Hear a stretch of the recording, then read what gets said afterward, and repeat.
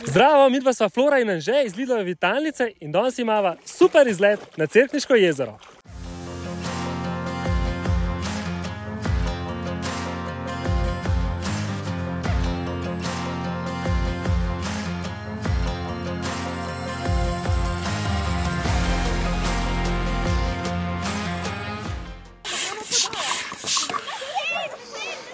Tole je že cel trening.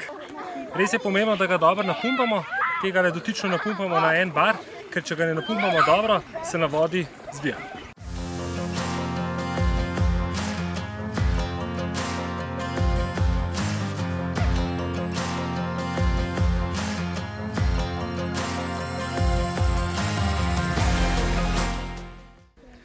Dajmo si pogledati, kako se sploh lotati supanja, če ste čisti začetnik.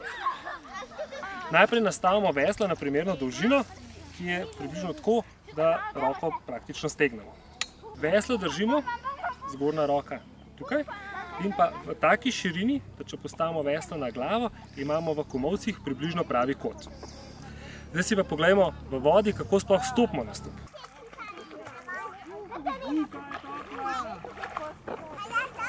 Tukaj pri ročaju imamo težišče deske, tukaj stojimo. Veslo postavimo pravokotno na sup, se s koleni zavehtimo gor. Začnemo z veslanjem na kolenih, tako da dobimo nekaj občutka in ravnotežja. Kako pravilno obrnemo veslo, sedaj je veslo pravilno obrnjeno, to pa je nepravilno. Ko se počutimo dovolj stabilni, poskušajmo ostati. To storimo tako, da veslo postavimo pravokotno na sup, na katerega se opremo, pokleknemo na eno nogo in vstanemo. Ne smemo pozabiti tudi na primerno zaščito proti soncu. Najboljša zaščita so seveda oblačila, tole je lajkra, ki je temu namenjena, druga opcija pa je seveda krema z zaščitnim faktorjem.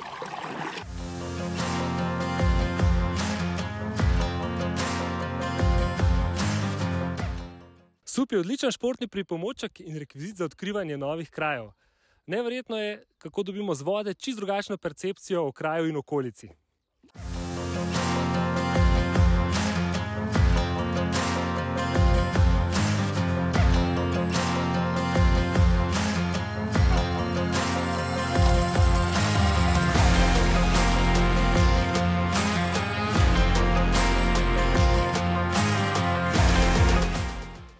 Vseeno pa ne smemo pozabiti na varnost, izogibajmo se supanju v vetrovnih in valovitih pogojih, ker supati proti močnem vetru je praktično nemogoče.